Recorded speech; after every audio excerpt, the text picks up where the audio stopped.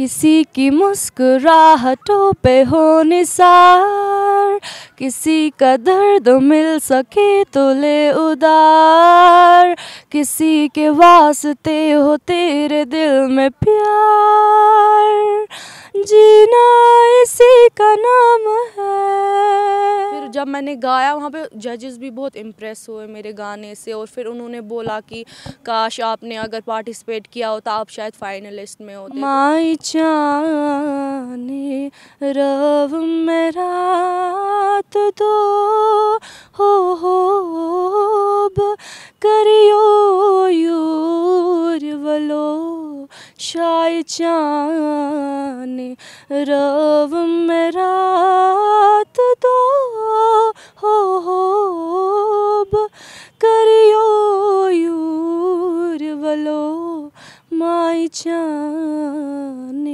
रव मेरा दो। अस्सलाम नाजरीन, आप देख रहे हैं गुड मॉर्निंग कश्मीर और मैं आपके साथ जरका शफ़ी। नाजरीन, कौन कहता है कि लड़कियाँ लड़कों से कम है? हम आपको ऐसी लड़की से रूबरू कराएँगे जो ना ही सिर्फ़ फुटबॉल में नेशनल लेवल पे खेलती है, बल्कि अगर बात उनकी सिंगिंग की करें तो आप भी उनका गाना सुन के हैरान हो जाएँगे।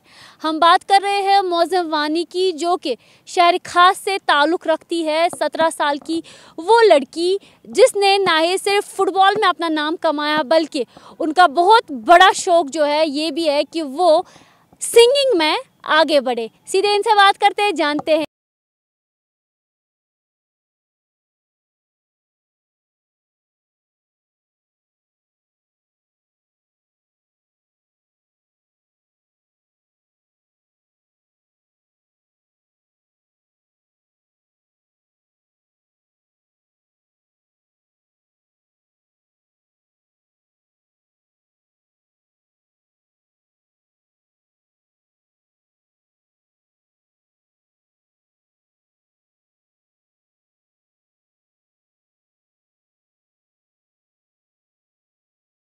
थैंक यू सो मच आपने इनवाइट किया मुझे। तो पहले जो है, आपके बारे में जानते हैं, कहाँ आप रहते हैं, क्या पूरा नाम है, कहाँ से आपने स्कूलिंग की, वो सब आप हमारे जी, मेरा नाम मौजम वानी है। मैं सेवनटीन ईयर्स की हूँ और मैं केंद्र विद्यालय नंबर वन में पढ़ती हूँ और ऐसे बाय प्रोफेशन में एक नेशनल फ़ुटबॉल प्लेयर हूँ। कश्मीर एरोज़ क्लब में मैं खेलती हूँ।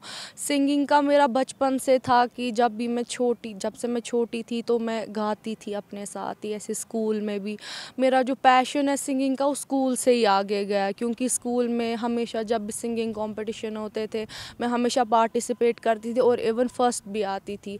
तो अभी मैं सिंगिंग में मतलब आगे जा रही हूँ कि सोच रही हूँ कि ट्वेल्थ के बाद इसके मतलब मैं स्टडीज़ भी करूँ म्यूज़िक में ही करूँ।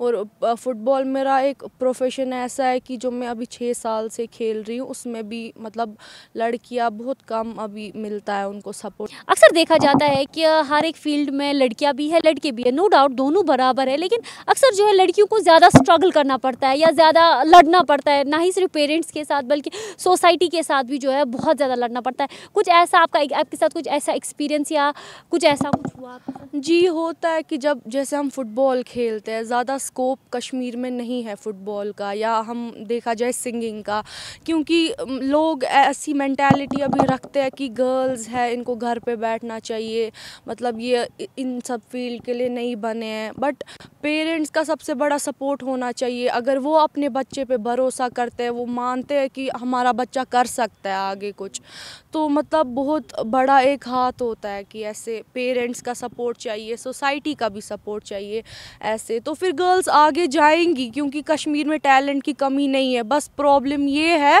वो खुल के बाहर नहीं आ तो ये चीज़ बताए कि फ़ुटबॉल किस चीज़ से आप खेल रहे हैं? किस चीज़ ने आपको इंस्पायर किया जिस वजह से आप जो है फ़ुटबॉल में इतना आगे बढ़े?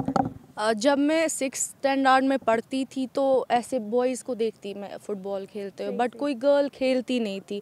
तो मैं एक बार मतलब ऐसे कोच के पास गई सर मुझे खेलना है मुझे भी खेलना है। तो फिर वो लोग सर ऐसे थे? ओके आप कल से बॉयज़ के साथ खेलो। ऐसे सीरियसली नहीं लिया किसी ने हाँ।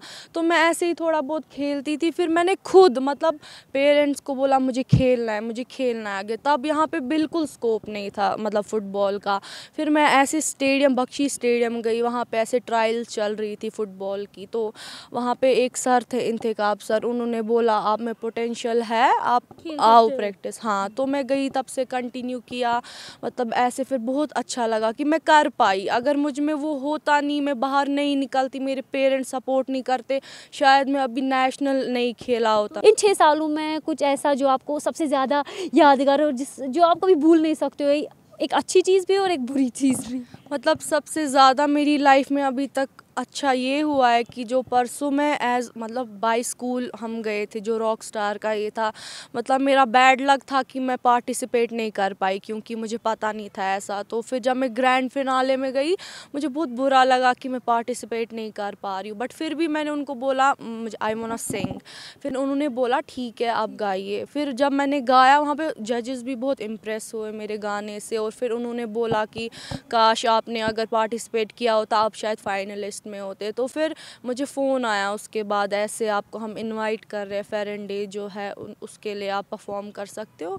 तो मैं बहुत खुश हुई कि ये एक बहुत प्राउड मोमेंट होता है जब आपको वहीं से कोई बुलाता है इनवाइट करता है ऐसे। पेरेंट्स को भी बहुत अच्छा लगता है कि हाँ मेरी बेटी इतना आगे तक जा रही है। सब में आपके पेरेंट्स की बात करें तो मामा ज़्यादा सपोर्टिव है या पापा ज़्यादा सपोर्टिव है? पापा ही हमेशा से ज़्यादा सपोर्टिव रहे थे, क्योंकि मम्मा मतलब थोड़ा होती है स्ट्रिक्ट गर्ल्स के मामले में बट पापा जो होते हैं, वो बाहर की दुनिया देखते हैं, सब कुछ उनको पता होता है। मैं बस इतना बोलूँगी, जब माँ बाप को अपने बच्चे पे भरोसा होगा कि वो सही कर रहे हैं, वो कुछ गलत नहीं कर रहा है, इसमें कोई गलत बात की कोई चीज़ नहीं है तो फिर इसमें कोई प्रॉब्लम नहीं है। जब आप सही कर रहे हो, आपको पता है आप कुछ गलत नहीं कर रहे हो तो वो चीज़ कभी गलत हो नहीं सकती है। तो क्या मैसेज रहेगी आपकी उन पेरेंट्स से या उन बच्चों से जो जिनके पास बहुत टैलेंट है? क्योंकि अगर जो देखा जाए कश्मीर में बच्चे बच्चे में टैलेंट है लेकिन कोई जो है बाहर निकालता है उस टैलेंट को लेकिन कोई अपनी शाइनेस की वजह से वो अंदर ही रखता है। क्या आप उनको कहना चाहते हैं? मतलब इतना कहूँगी कि अगर आपके पास कुछ है मतलब खुदा ने आपको कुछ टैलेंट दे के भेजा है यहाँ पे तो उसको ज़ाया मत कीजिए। क्या पता आप उस टैलेंट की वजह से बहुत आगे जाओ, क्योंकि कश्मीर में बहुत कम ऐसे लोग हैं जो बहुत ऊपर तक जा पाते हैं। मैं बस उनके पेरेंट्स को ये बोलूँगी, आप प्लीज़ सोसाइटी का ना सुने। अगर आपको पता है आपका बच्चा किसी चीज़ में अच्छा है, उसको सपोर्ट कीजिए, क्योंकि आप ही मतलब एक मेन रोल एक बच्चे की लाइफ में करते हैं। मतलब जो आप बोलेंगे, वो वही करेंगे। क्योंकि विदाउट पेरेंट सपोर्ट मुझे नहीं लगता कि कोई आगे जा पाता है, क्योंकि वो सबसे बड़ी चीज़ होती है। स्टूडेंट्स के लिए भी होती है। मतलब आप अगर किसी चीज़ में अच्छे हैं स्कूल से पार्टिसिपेट कीजिए, फिर आगे स्कूल के बाद उसको प्रेफर कीजिए, या अगर आप सिंगिंग फ़ील्ड में आप उसके बारे में पढ़िए मतलब म्यूज़िक का स्टडीज़ कीजिए, या फुटबॉल में हाँ आप खेलिए एज अ क्लब से खेलिए। बस मैं उन पेरेंट्स को बोलना चाहूँगी, आप रोकिए मत अपने बच्चों को। तो ये थी मौजिम वानी की लाइफ स्टोरी किस तरीके से इन्होंने पहले फुटबॉल खेला और जो अगर बात सिंगिंग की करें तो सिंगिंग का इनको बचपन से ही शौक़ था और आपने इनकी सिंगिंग भी सुनी होगी, कितनी, कितना खूबसूरती से ये गाती है और साथ ही साथ अगर फुटबॉल की बात करें तो वो भी आपने विजुअल्स में देखा ही होगा किस तरीके से ये फुटबॉल खेलती है और ना ही सिर्फ़ स्टेट लेवल पे बल्कि नेशनल लेवल पे जो है ये फुटबॉल खेलती है। आगे भी आप तक ऐसी ही दिलचस्प इंस्पिरेशनल स्टोरीज़ पहुंचाते रहेंगे। तब तक के लिए दीजिए इजाज़त, मैं जरका शफ़ी, कैमरा पर्सन मुफीदी लाल के साथ।